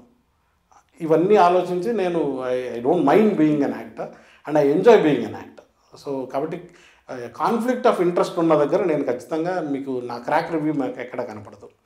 నేను యాక్ట్ చేసిన సినిమా హృదయకాలయం కానివ్వండి ఆ, కొబ్బరిమట్ట కానివ్వండి వీటి రివ్యూస్ నేను ఎక్కడ చెప్పను. సినిమా ప్రమోట్ చేయడం వేరు రివ్యూ చెప్పడం వేరు. ఎందుకంటే I will not have objectivity if I'm acted in the film కాబట్టి అది నేను కొంతవరకు చూసుకుంటాను. మామూలుగా ఫిల్మ్ క్రిటిక్ అంటే ఎలాంటి సినిమాకైనా ఏ సినిమాకైనా ఇవ్వాలి. బట్ మీరు యాక్ట్ చేసిన మూవీ కొన్ని రిజర్వేషన్స్ పెట్టుకోండి. లేదు నేనైతే వీటికి చెప్పను అనేది. చెప్పను. నేను ఆ యాక్ట్ డైరెక్టర్లో కూడా చెప్తాను. నేను మన సినిమాకి రివ్యూ చెప్పను. వేరే ఇంకెవరు చెప్పినా దాన్ని యాక్సెప్ట్ చేస్తారో? ఎలా యాక్సెప్ట్ చేస్తాను. ఎందుకంటే సి ఐ నో ఇప్పుడు నేను ఒక జడ్జిమెంటల్ పొజిషన్లో ఒక్కోసారి ఉన్నప్పుడు I am also under scrutiny అనేది నాకు తెలుసు. నిజానికి critics job is very difficult job ఎందుకంటే క్రిటిక్ని ఒకసారి చూస్తారు రెండుసార్లు చూస్తారు. వాడి లైన్ వాడి లైన్ ఆఫ్ థింకింగ్లో లేకపోతే ఆ క్రిటిక్ని పక్కన పెట్టేస్తారు. ఆడియన్స్ విల్ నాట్ ట్రస్ట్ వాళ్ళు అబద్ధం నన్ను ఒకసారి రెండుసార్లు చెప్తాను అనుకోండి. మూడోసారికి ఇటు అబద్ధాలు చెప్తాడని పక్కన పెట్టేస్తారు. So credibility of a critic is to tell truth అది చెప్పలేకపోయాం అనుకోండి మనమే ఇర్రలవెంట్ అయిపోతాం. కాబట్టి ఆ రిస్క్ ఉంటుంది. And when I am doing it they they will నన్ను చాలామంది ఇవాళ బ్యాడ్ యాక్టర్ అన్న వాళ్ళు ఉన్నారు. అసలు నువ్వు క్యారెక్టర్ ఎందుకు చేసావు వాళ్ళు ఉన్నారు. ఇప్పుడు కొంతమంది భలే చేశారు కొంచెం ఇంట్రెస్టింగ్ ఉంది అన్న వాళ్ళు ఉన్నారు. వీటన్నిటిని నేను సమానంగా స్వీకరిస్తాను. ఎందుకంటే I know my limitations and my capacity అంటే గ్రేట్ యాక్టర్ కాకపోయినా డీసెంట్ యాక్టర్ అని నేనే అంటున్నాను కాబట్టి నాకు నా యాక్టింగ్ నచ్చని వాళ్ళన్నా కూడా నాకు I have to accept it okay రీసెంట్గా మనం క్రిటిక్స్ గురించి మాట్లాడుకుంటున్నప్పుడు పూరి జగన్నాథ్ గారు ఒక మాట అన్నారు. ఎవరు పడితే వాళ్ళు క్రిటిసిజం అనేది చేస్తున్నారు ఫిల్మ్ క్రిటిక్గా చేసుకున్నారు బట్ ప్రొ ప్రొడక్షన్ వైజ్గా చూసుకుంటే ఎన్ని కష్ట నష్టాలు ఉంటాయి ఎంత ఇవన్నిటిని ఫేస్ చేసుకుని మేము ఒక రిలీజ్ చేసిన తర్వాత ఇన్ని రకాలుగా చేయడానికి వాళ్ళకి అర్హత అనేది ఉండాలి అన్నట్టుగా పూరి మాట్లాడారు. అంటే పూరి జగన్నాథ్ గారితో నేను విభేదిస్తాను. ఎందుకంటే క్రిటిక్ అనేవాడు ఆకాశం నుంచి అయితే ఊడిపడట్లా. ప్రేక్షకుడే ప్రేక్షకుడికి సినిమా ప్రాసెస్తో సంబంధం లేదు. నేను నూట యాభై రూపాయలు పెట్టి థియేటర్లో కూర్చున్నా. నన్ను ఏ విధంగా సాటిస్ఫాక్షన్ చేసిన సినిమా అనేదే ఇంపార్టెంట్. ఇక్కడ క్రిటిక్ అనేవాడుకున్న ఎక్స్ట్రా అడ్వాంటేజ్ ఏంటంటే ఇతను ఇంకొంచెం ఎక్కువ ఎక్స్పోజర్ ఉన్నవాడు. వాటిని పదాల్లో కూర్చగలిగి తన అభిప్రాయాన్ని కూలంకషంగా చెప్పగలిగేవాడు. ఇంతేగా క్రిటిక్ యొక్క క్వాలిఫికేషన్. ఇంతకన్నా మీరు ఏదైనా సర్టిఫికేట్ ఆయన సజెస్ట్ చేస్తే మేము సర్టిఫికేట్ కోర్స్ చేయడానికి రెడీగా ఉన్నాం కానీ సర్టిఫికేట్లు అయితే అక్కర్లేదు క్రిటిక్ అనుకుంటున్నాను. కాకపోతే కొంత మామూలు సాధారణ ప్రేక్షకుడు కన్నా కొంచెం ఎక్కువ తెలిసినవాడు కొంత ఎక్కువ ఎక్స్పోజర్ ఉన్నవాడు. చెబుతున్న విషయాల్ని చాలా క్లియర్గా చెప్పగలిగే భాష కలిగిన వాడు. ఈ రెండు క్వాలిఫికేషన్లు అయితే కావాలి. లేకపోతే బోర్ కొట్టేస్తుంది. ఎందుకు చూస్తారు? ఎందుకు చదువుతారు క్రిటిసిజంని ప్రేక్షకుడికి ఒక క్యూరియాసిటీ ఉంటుంది. నేను ఇట్లా అనుకున్నా ఈ సినిమా గురించి. ఈడేం చెప్తాడో చూద్దాం. ఎందుకు చదువుతున్నారు? అంతే తప్ప ప్రేక్షకుడికి మా ఒపీనియన్ పెద్ద వాల్యుబుల్ ఏమీ కాదు. నా ఒపీనియన్ వీడి ఒపీనియన్ కాదా? అవునా? అని చెక్ చేసుకోవడానికి ప్రేక్షకుడు చదువుతాడే తప్ప మా ఒపీనియన్ వల్ల ప్రేక్షకులు మారతారు. కాబట్టి క్రిటిక్స్ మేము గొప్పవాళ్ళం అనే అంత భ్రమ అయితే నాకు లేదు. So they are only trying to test their opinion based on our opinion అంతే. కత్తి మహేష్ గారు ఇప్పుడు వేసుకున్న టీ షర్ట్ చూస్తే రుద్ర కనిపిస్తున్నాడు Mahesh is fan of Shiva అనుకోవాలా? ఏంటి అసలు అది? అంతా చాలా క్లియర్గా ప్రామినెంట్గా టీ షర్ట్ వెతుక్కొని కొనుక్కున్నారా? లేకపోతే మీకు ఇలా నచ్చి తీసేసుకున్నారా? ఫ్యానా లేదు అంటే ఒక నాకు శైవ వైష్ణవ వాళ్ళలో నాకు కొంచెం శైవం నచ్చే విషయం. ఎందుకంటే కొంచెం డెమోక్రసీ ఉంటుంది. ఈయన ఇలాగే నన్ను పూజించు ఆగమశాస్త్రం ప్రకారమే ఉండని చెప్పడం. మన భక్త కన్నప్ప మటన్ పెట్టినా చికెన్ పెట్టినా తినేస్తాడు అడవి పందిని కొట్టి తెచ్చినా తినేస్తాడు. ఈయనకి అలాంటి పట్టింపులు ఏం పట్టింపులు లేవు ఆయనకి. ఏం పెట్టినా తింటానంటాడు ఎలా పూజించినా ఉంటానంటాడు శ్మశాన భైరవుడు ఆయ- ఆయనకి ఇంకేం పట్టింపులు ఉంటాయి? కాబట్టి వీటన్నిటిలో చూసుకుంటే నాకు కొంచెం ఆ వైపు ఉంటాను నేను. ఎస్పెషల్లీ వీరశైవంతో కొంత ఇన్ఫ్లుయెన్స్ నాకు ఉందనే చెప్పుకోవాలి. అంటే ఒక ఒక ఆర్గనైజ్డ్ రిలీజన్ని బ్రేక్ చేసి డెమోక్రసీని ఎస్పెషల్లీ అంటరానితనము దళితులు అప్రెషను వీటన్నిటిని వ్యతిరేకించినటువంటి వీరశైవం అంటే నాకు కొంచెం అభిమానం అయితే ఉంది. ఇప్పుడు ఉన్నటువంటి మోడల్స్లో రిలీజియస్ మోడల్స్లోనే దేవుడు ఉన్నాడా లేదా అనే దాన్ని పక్కన పెడితే మతం అయితే ఉందిగా. సో దేవుడు ఉన్నాడా లేదా అనేది పక్కన పెడితే మతం అయితే ఉంది గుడి ఉంది నమ్మేవాళ్ళు ఉన్నారు నమ్మని వాళ్ళు ఉన్నారు. వీటన్నిటిలోనూ ఒక సయోధ్య అయితే కావాలి. అంటే మనం ఏది నమ్ముతాము ఏది నమ్మము దేవుడు కాకపోయినా ఒక ఫిలాసఫీ రకం పరంగా చూసుకుంటే నేను కొంత శైవిజం వైపు మొగ్గు చూపుతాను బౌద్ధం వైపు మొగ్గు చూపుతాను. ఎందుకంటే that is also recommends democratic way of looking at things అంటే ఒక ఒక ఒక ఈగలటేరియన్ ఈక్వల్ సొసైటీని చూసే మతాలలో ఇటు శైవం కానివ్వండి అటు బౌద్ధిజం కానీ ఉన్నాయని నేను నమ్ముతాను. నాకు తెలిసిన సమాచారంతో. కాబట్టి కొంత ఆ, ధోరణి నా భాషలోనూ ఉంటుంది భావాల్లోనూ ఉంటుంది. కాబట్టి ఇది కనపడగానే నాకు ఎందుకో నచ్చింది. ఓకే. సో ఓన్లీ ఆ ఐడియాలజీ అది మాత్రమే నచ్చిందా? డెమోక్రటిక్ గాడ్ అనుకుంటున్నారా? లేకపోతే శివాలయాలు లేకపోతే శివరాత్రులు పూజలు ఇలాంటివి కూడా చేస్తారు? పూజలు గట్రా చేయను కానీ ఆలయాలకు వెళ్తాను నేను because I love architecture of any temple ఆలయాలకు వెళ్తాను. ప్రసాదాలు అంటే చాలా భక్తి నాకు. దేవుడు. అంటే ఆలయాల్లో తినే ప్రసాదాలను మించిన టేస్ట్ మరొకటి ఉండదు అనుకుంటా. ఆ, తిరుమల లడ్డు కానివ్వండి కాళహస్తిలో పులిహోర కానివ్వండి వీటి కోసం నేను గుడికి వెళ్తాను. కాబట్టి నాకు ప్రసాదం ఒక భౌతికవాదం కింద. కాబట్టి అది భావ భావవాదం కన్నా నాకు భౌతికవాదం ఇంపార్టెంట్.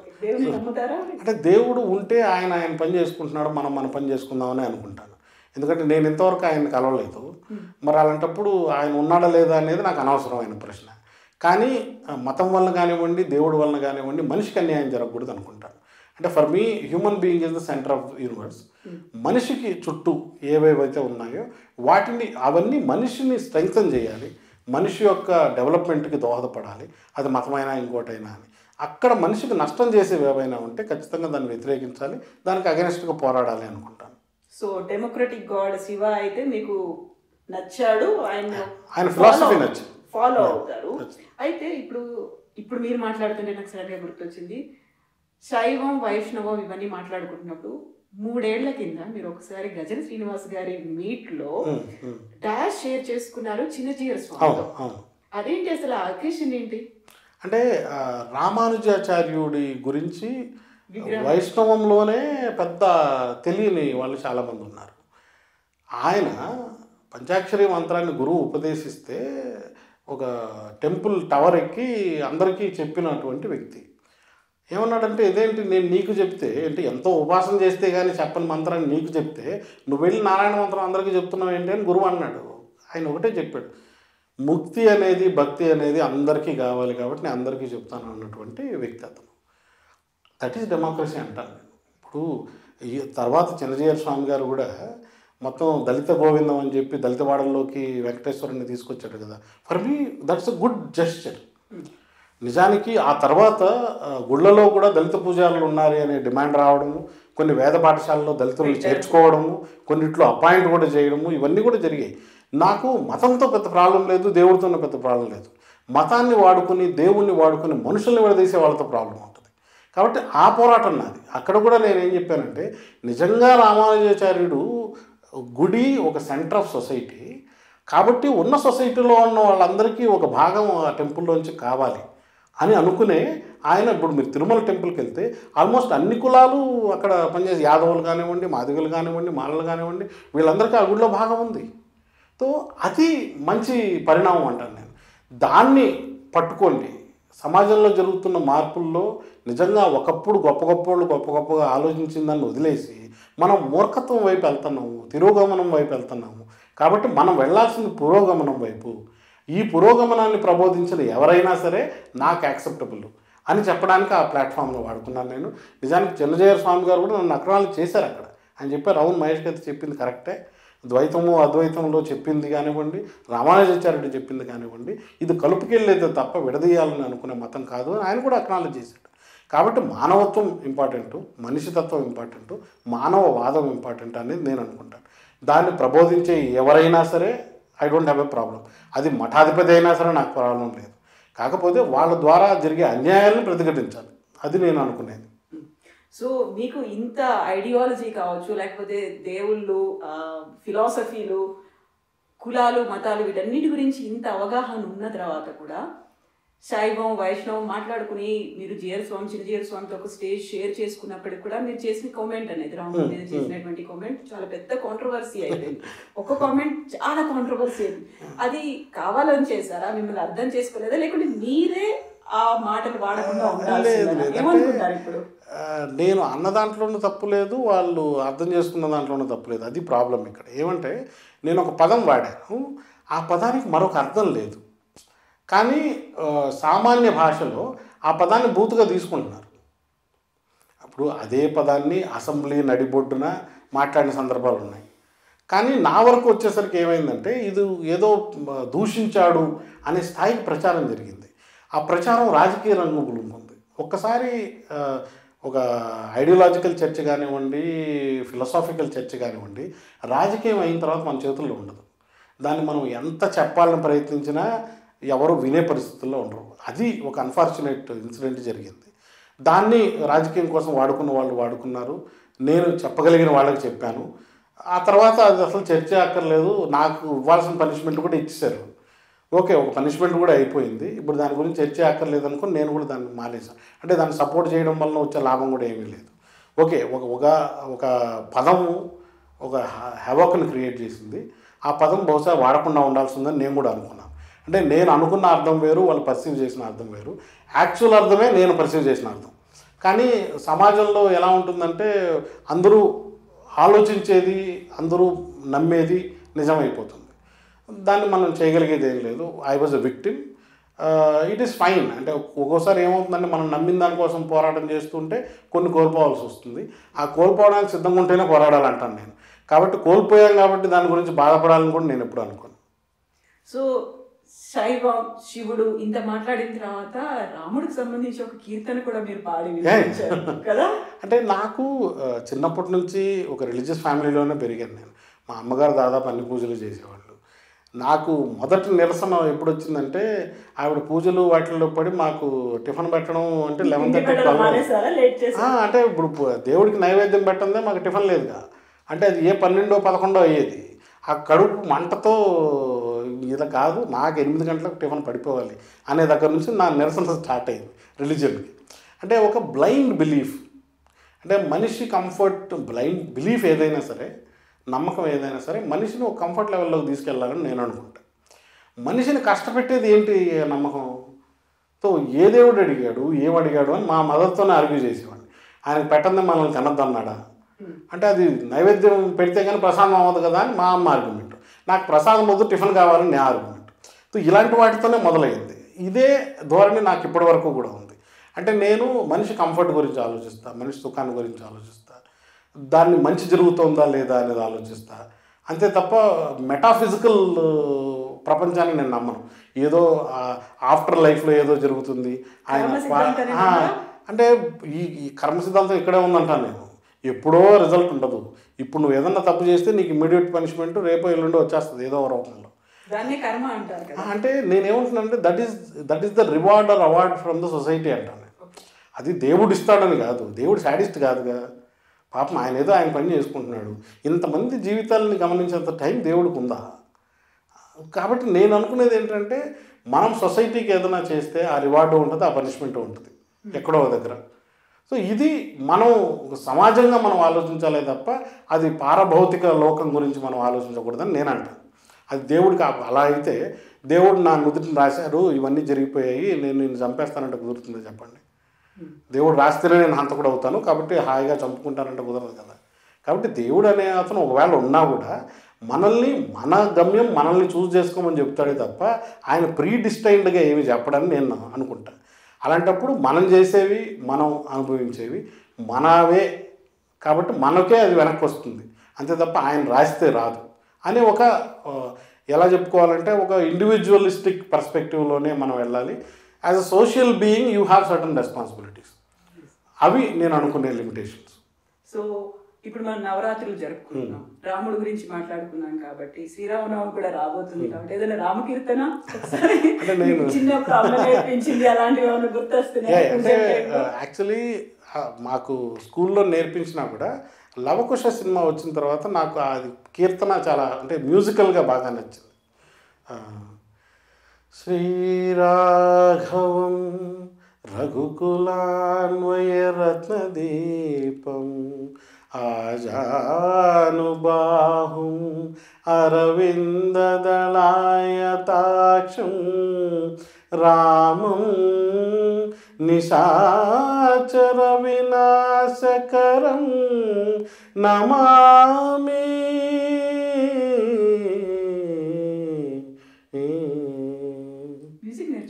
లేదు లేదు. అంటే వినికిడి జ్ఞానమే తప్ప సంగీతం నేర్చుకోలేదు. అంటే వింటూ వింటూ ఐఎమ్ ఇంట్రెస్టెడ్ ఇన్ మ్యూజిక్. కాబట్టి వింటూ వింటూ వచ్చింది ఏదో సరదాగా పాడుకోవడం అంటే బాత్రూమ్ సింగర్ కాదు కానీ కాలేజ్ సింగర్ వరకు ఉన్నాను నేను. ఓకే. రాముడి గురించి ఇంత విన్న తర్వాత ఓన్లీ మ్యూజిక్ అట్రాక్ట్ చేసిందా? రాముడిలో ఉన్నటువంటి గుణగణాలు కూడా అట్రాక్ట్ చేశాయా అంటే ప్రతి యుగానికి ప్రతి కాలానికి కొన్ని మనం ఆనువంశికంగా వచ్చేవి కొన్ని ఉంటాయి. కొంత అనువాదం ద్వారా వచ్చే ఉంటాయి. కొన్ని మనం ఇమిటేషన్ ద్వారా వచ్చే ఉంటాయి. అంటే రాముడి ఇది మనం సత్యకాలం అనుకుంటే ఆ సత్యకాలానికి కలియుగానికి మధ్య చాలా అంతరం ఉంది. ఇప్పుడు నిజంగా can we be so aspirational అనే దగ్గర నాకు రాముడి ఆదర్శాలు ప్రస్తుతం ఉన్న కాలానికి అనుగుణంగా అనిపించవు. అందుకని నేను అతని ఆదర్శవంతంగా అయితే నేను ఫాలో అవ్వలేను నమ్మాలని కూడా అనిపించదు నాకు. ప్లస్ ఆ ఆదర్శాల స్థాపన ఎప్పుడు జరిగింది అనే దగ్గర కూడా కొంత సమస్యలు ఉన్నాయి. అంటే రామాయణం బహుశా వాల్మీకి రాసిన టయానికి రాయడం అంటూ ఒక ప్రక్రియ లేదు. మౌఖికంగా చెప్పడం వరకే ఉన్నది. గుప్తుల కాలంలో రాసిన రామాయణంలో అప్పటి వరకు మేబీ మోస్ట్ అథెంటిక్ అనుకోవాలంటే కొంచెం దగ్గరగా ఉన్నటువంటి రామాయణం. ఆయన రామాయణం భావాలకు సంబంధించిన రామాయణం రసస్పందనకు సంబంధించిన రామాయణం తో ఇది మోర్ ఆఫ్ ఎ కావ్యం సంబంధించినటువంటి ఎమోషన్ కానీ విలువలు అనేవి తర్వాత తర్వాత వచ్చాయి. మీకు తులసి రామాయణం తీసుకుంటే తులసి రామాయణంలోనే మొట్టమొదట మీకు మర్యాద పురుషోత్తమ రామ అనే ఒక ఆయనేజ్ దొరుకుతుంది. అంతకుముందు వాల్మీకి ఎక్కడ మర్యాద పురుషోత్తమ అనలేదు. అలాగే రామ రాజ్యం అనేది ఏదైతే అంటున్నాము రామరాజ్యం కాన్సెప్ట్ అనేది రాముడు నిజానికి పెద్దగా పరిపాలించలేదు ఆయన. లెంగ్త్ ఆఫ్ రామరాజ్యం అనేది లేదు. రామాయణం మొదట్లోనే అసలు ఇలాంటి ఒక రాజ్యం ఉంటే అనే ఒక కన్సెప్షన్ నారదుడు చెప్తాడు. నారదుడు అంటాడు ఇలాంటి ఒక రాజ్యం ఉంటే దానికి ఎవడు రాజు అవుతాడంటే ఒకడు వస్తున్నాడు అని ఒక ప్రో ప్రొలోగ్ అని ఒకటి చెప్తాం కదా. అంటే కథకు ముందు ఒక ఇంట్రడక్షన్ చెప్తాం మనం ఒక బురకథ చెప్తాం. ఆ బురకథలో రామరాజ్యం ఉంటుంది. ఆ తరువాత రాముడు పరిపాలించినటువంటి అతి కొద్ది కాలంలో ఏం జరిగిందంటే బ్రాహ్మణులకు న్యాయం జరిగేలాగా విప్రులకు న్యాయం జరిగేలాగా రాముడు పరిపాలించాడు. అంటే మనకున్నటువంటి ఏదైతే మనం లైక్ సిద్ధాంతం ఏదైతే మనం చెప్తామో నాలుగు కులాలు చాతుర్వర్ణ వ్యవస్థ మనువాద వ్యవస్థ అని ఏదైతే మనం చెప్తామో ఈ మనువాద వ్యవస్థని ఆయన స్థిరీకరించి దాన్ని డిఫెండ్ చేశాడు. కాబట్టి అది రామరాజ్యం అంటున్నాం. ఇప్పుడు అదే మనం మాట్లాడితే బ్రాహ్మణులు బ్రాహ్మణ పనే చేయాలి. బ్రాహ్మణులకి అనుకున్నప్పుడు కూడా ఒక దోబి అన్న మాటని పట్టించుకొని అంటే వాళ్ళ వాళ్ళ మాటలకు కూడా విలువ ఇచ్చినట్టుగా కనిపిస్తుంది కదా సీతానారాయణ ఆ విలువ ఇవ్వడం తప్పని కదా అంటాను నేను. అంటే ఇప్పుడు సీత గురించి ఎవరో ఆయన పాలన అనేది కేవలం చాతుర్వర్ణ వ్యవస్థ పైనే లేదు అన్ని చోట్ల ఉంది ఇక్కడ? ఇక్కడ సమస్య ఏంటంటే రాజు అనేవాడికి చాలా సోర్సెస్ ఆఫ్ ఇన్ ఇన్ఫర్మేషన్ ఉంటుంది. ఎవరో ఒక గాలి మాట మాట్లాడాడని వైఫ్ పట్ల అలాంటి నిర్ణయం తీసుకోవడం అనేది మంచిదైతే కాదు. ఈ కాలానికి అనుకున్నాను అది ప్రాబ్లం అంటాను నేను. అంటే ఆదర్శాలని అప్పటి ఆదర్శాలని ఆ ఆదర్శాలుగా మనం చదువుకుందాం. వాటిని ఇంప్లిమెంట్ చేయాలనుకుంటే ప్రాబ్లమ్స్ వస్తాయంటున్నాను. అంటే ఈ కాలానికి వాటిని తీసుకొచ్చి నెత్తిని రుద్దాలి. ఎవరో ఏదో అంటున్నారు కాబట్టి మనం మా వైఫ్ని ఇలా ట్రీట్ చేయాలి అనుకుంటే కష్టం అవుతుంది. కాబట్టి నేను అదే అంటాను నేను. లెక్క ఆ ఆదర్శాలను ఒక కథగా దాన్ని చదువుకోవడం ప్రమాణం. ఒక కావ్యంగా దాన్ని ఆస్వాదిద్దాం బాగానే ఉంది.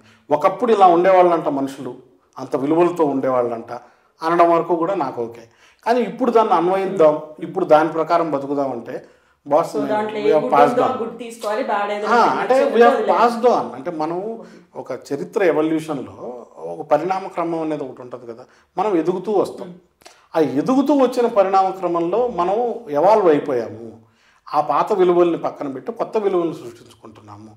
రాజ్యాంగం అనేది ఒకటి వచ్చింది. రాజ్యాంగ విలువల్ని మనం పాటిస్తున్నాము. ఎవరితో ఊరికే వైఫ్ను వదిలేయడం అనేది సాధ్యం కాదు. ఈ ఎవ- ఎవరో వైఫ్ని అప్డేట్ చేయడం కూడా సాధ్యం కాదు. వాళ్ళిద్దరి మీద కేసులు పెడతాం మేము అనేది కదా మనం ఇప్పుడు మాట్లాడుకుంటుంది. అంటే రాజ్యాంగ విలువల్ని పారామౌంట్ అనుకున్నప్పుడు ఈ విలువల్ని పక్కన పెట్టాలి అంట నేను. లేదు ఈ విలువల్ని మన ఎత్తున రుద్దాలి అనుకుంటే కష్టం అవుతుంది అని చెప్తుంటాను resistance is between what is perceived value and what is the real value at this point in time so వీటికి ఉన్నటువంటి ఘర్షణే తప్ప అదేమి మతాన్ని కించపరచాలనో దేవుళ్ళని కించపరచాలనో ఉద్దేశం ఏమి అంటే ఒక ఒక it's a matter of an argument ఈ మ్యాటర్ ఆఫ్ ఆర్గ్యుమెంట్లో వాళ్ళు మెరిట్ ఆఫ్ ద ఆర్గ్యుమెంట్ చూడాలి తప్ప మనోభావాలు ఎందుకు దెబ్బతింటాయంటే ఇప్పుడు మీరు దేవుడిని నమ్ముతారు నేను నమ్మను. ఇప్పుడు నమ్మని వాడిని నేను మిమ్మల్ని చూసి మనోభావాలు దెబ్బ తీసుకుంటానా నా నమ్మకం నాదనుకుంటాను. అంటే ఇక్కడ బహుశా బలహీనమైన నమ్మకాలు ఉన్న వాళ్ళే మనోభావాలు దెబ్బ తీసుకుంటారేమో అని డౌట్ నాకు. ఇప్పుడు మనోభావాల గురించి మనం మాట్లాడుకుంటున్నప్పుడు రీసెంట్గా చేసినటువంటి ఒక ప్రతిజ్ఞ కనిపిస్తుంది. స్వేరోస్. మేము రాముణ్ణి కృష్ణుణ్ణి పూజించము. గౌరిని గంగని వీళ్ళని పూజలు చెయ్యము అనే మాట. దాన్ని ఎలా చూస్తున్నారు మీరు? ఇప్పుడు నేను హిందువునండి. నేను జీసస్ని నమ్మను ఖురాన్ని నమ్మను అన్నాను అనుకోండి మీకు ప్రాబ్లమా? ప్రాబ్లం ఎందుకు అవ్వాలి? నమ్మడం ఎంత హక్కు? నమ్మకపోవడం కూడా అంతే హక్కు. బుద్ధిస్టులుగా అంటే హిందువులు బుద్ధిస్టులుగా మారాలి అని అంబేద్కర్ గారు చెప్పారు. అదొక దానికి ఒక హిస్టారికల్ కాంటెక్స్ట్ ఉంది. ఆయన జీవితాంతం దానికి హిస్టారికల్ కాంటెక్స్ట్ ఉంది. ఆయన జీవితాంతం హిందువులతో పోరాడి మీరు మారండ్రా నాయన ఇది వదిలేయండి మమ్మల్ని బతకనివ్వండి అని పోరాడి వీళ్ళు ఇంక నా మాట వినరు. కాబట్టి నేను వేరే మతంలోకి వెళ్ళిపోతాను. నవయాన బుద్ధిజం అనే ఒక మతాన్ని ఆయన అనుకుని ఒక రెవల్యూషనరీ మతం అది అంటే కౌంటర్ రెవల్యూషనరీ మతం అది. హిందూ మతానికి విరుద్ధంగా ఉన్నటువంటిది డెమోక్రటిక్ ప్రిన్సిపల్స్ ఉన్నటువంటి మతంలోకి మారుతూ నేను ఇప్పటి నుంచి ఈ హిందూ దేవతలను నేను మా పూజించను. వీళ్ళతో నాకు రిలేషన్షిప్ లేదు నేను వెళ్తున్నాను అని చెప్పాడు. అది ఇప్పటికీ ఎవరైనా చేయొచ్చు. దాన్ని డిజోన్ చేయాల్సిన అవసరం అయితే లేదు. ఇప్పుడు ఏంటంటే నేను నమ్మనంత మాత్రాన దేవుళ్ళు ఏమి తక్కువ అయిపోతారా చెప్పండి? మీ నమ్మకాలు ఏమైనా బలహీనం అయిపోతాయా చెప్పండి? లేదు కదా. దాంట్లో మనోభావాలు దెబ్బ తీసుకోవాల్సినటువంటి అవసరం ఏంటి?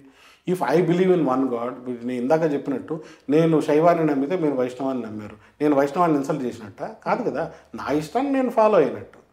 అక్కడ కూడా అదే జరిగింది. కాబట్టి దాన్ని అదేదో పెద్ద ద్రోహం జాతి ద్రోహంగానో మత ద్రోహంగానో చూడడం అనేది నాకైతే అర్థం కాని పరిస్థితి.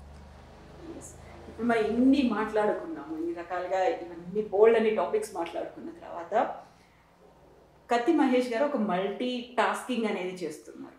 సో మేము ఫ్యూచర్లో కత్తి మహేష్ గారిని ఎలా చూడొచ్చు అంటారు? అంటే నేను సినిమా మీద ఇంట్రెస్ట్తో సినిమాల్లోకి వచ్చాను డైరెక్టర్ అవుదామని. రెండు సినిమాలు చేసినా సక్సెస్ అవ్వలేదు కాబట్టి ఇంకా నేను డైరెక్టర్గా చెప్పుకోలేను. అంటే ఒక సక్సెస్ఫుల్ డైరెక్టర్గా రాజకీయాలు అనేవి నాకు ఇంట్రెస్ట్ ఎప్పటి నుంచో అంటే as a active human being as an active human being as in a society రాజకీయాలు మన జీవితాలు అన్నింటినీ ప్రభావితం చేస్తున్నప్పుడు మనం దాన్ని ప్రభావితం చేయకుండానో లేకపోతే దాంట్లో ఇన్వాల్వ్ అవ్వకుండా ఉంటే అది మన నష్టం. అంతే తప్ప మరొకటి కాదు. కాబట్టి వాటిలో కూడా నా ఇంట్రెస్ట్ ఇంక్లినేషన్ రెండూ ఉన్నాయి. అంటే సమాజాన్ని కొంచెం కూలంకషంగా సమూలంగా మార్చాలి అనుకుంటే రాజకీయం ఇస్ ద ఓన్లీ ప్లేస్ ఒక చిన్న లా ద్వారా ఒక చిన్న లాలో అమెండ్మెంట్ ద్వారా కొన్ని కోట్ల మందికి మీరు మేలు చేయగలుగుతారు. ఆ ఆపర్చునిటీ ఎక్కడ వస్తుంది చెప్పండి? మనం ఇండివిజువల్స్గా మనం బహుశా మన ఒపీనియన్తో కొంతమంది ఇన్ఫ్లుయెన్స్ చేయొచ్చు మన సేవా దృక్పథంతో పది మందికి మేలు చేయొచ్చేమో కానీ లార్జ్ స్కేల్లో మనం మేలు చేయాలంటే అక్కడ ఉండాలి. కాబట్టి political power for me is a very crucial thing which is going to change the society సొసైటీలో మార్పు కావాలి అనుకునేవాడిగా రాజకీయ ఆస్పిరేషన్ అయితే ఖచ్చితంగా ఉంది. కానీ మన దారి అంటే మనకు బ్యాక్గ్రౌండ్ లేదు ఫోర్ గ్రౌండ్ ఎంత ఉందో తెలియదు ఇలాంటి టైంలో ఒక యాస్పిరేషన్ ఉన్నప్పటికీ నా లిమిటేషన్స్లో నేను ఏం చేయగలుగుతాను అనే పద్ధతిలోనే వెళ్తున్నాను. ఫ్యూచర్లో అలాంటి ఒక అవకాశం దొరికితే ఖచ్చితంగా I'm interested in politics active electoral పాలిటిక్స్లో నాకు ఇంట్రెస్ట్ ఉంది. లేదని చెప్పడం లేదు. ఎలా అనేది నాకు ఇంతవరకు తెలియదు I'm trying to figure out so ఫ్యూచర్లో మేము ఏమైనా చూడొచ్చు అంటారా అటువైపు చిత్తూరు తిరుపతి వైపు ఏమన్నా మిమ్మల్ని పాలిటిక్స్లో అంటే వైఎస్ఆర్సీపీ ఇప్పుడు నాకు రెండు మూడు టాస్క్లు ఉన్నాయండి. అంటే చిత్తూరులో నేను ఇందాక మీకు చెప్పాను కదా మాది కమ్యూనిటీకి రిప్రజెంటేషన్ లేదు అనేది ఏదైతే ఉందో ఆ అగొనీని ఆ ఆక్రోశాన్ని అడ్రస్ చేయాల్సిన అవసరం అయితే నాకు ఉంది ఎందుకంటే కాస్తో కూస్తో నేను ఒక సోషల్ ఇన్ఫ్లుయెన్సర్గా ఉన్నాను. పార్టీలో నన్ను గౌరవించే వాళ్ళు ఉన్నారు నా మాటకు విలువ ఇచ్చే వాళ్ళు ఉన్నారు. అలాంటప్పుడు నా జాతికి నేను ఎంతో కొంత చేసుకోవాలి కదా. అది నా జిల్లాలో చేసుకోవాలి కదా అనేది ఒకటి ఉంది. కాబట్టి ఒక ఒక రిప్రజెంటేటివ్గా అక్కడ నేను ఖచ్చితంగా నా కార్యక్షేత్రం అది అవుతుంది అని అయితే చెప్పగలను. ఏమవుతాను ఫ్యూచర్లో అనేది నాకు కూడా తెలియదు. థ్యాంక్ యూ సో మచ్ అండి బెస్ట్ విషెస్ టు యూ మీరు ఇలాగే మీ ఐడియాలజీని మీరు అనుకున్నటువంటి భావాల్ని అన్నిటిని ఇలాగ పంచాన్ని షేర్ చేసుకోవాలని కోరుకుంటున్నాను. Thank you so much and best best wishes to you. Yes that's all with Kathi Mahesh గారు తను అనుకున్నది కుండ బద్దలు కొట్టేటువంటి తత్వం అలాగే చెప్తూ ఉంటారు. అదే కంటిన్యూ చేయాలని కోరుకున్నాము ఇది కత్తి మహేష్ గారితో ఇంటర్వ్యూ మీకు నచ్చినట్టయితే లైక్ చేయండి షేర్ చేయండి సబ్స్క్రైబ్ చేయండి. This is Kavitha signing off